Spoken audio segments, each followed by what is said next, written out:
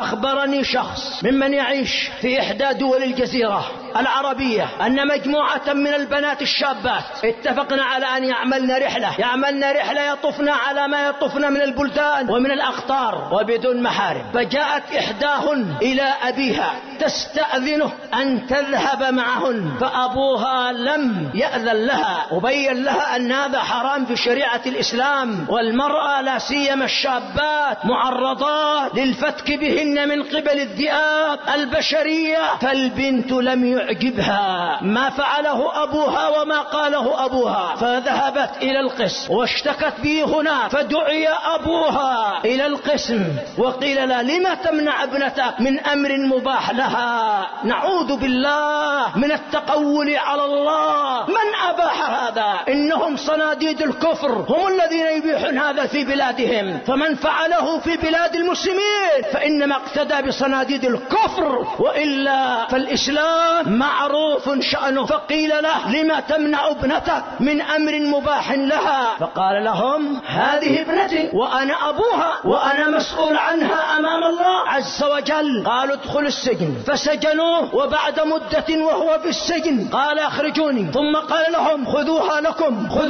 لكم خذوها لكم. يا عباد الله أمور كما سمعتم. ما كان يدور في الخيال أن من ولاة الأمور من يصل بهم في أمر الغيرة إلى حد الموت إلى حد الموت.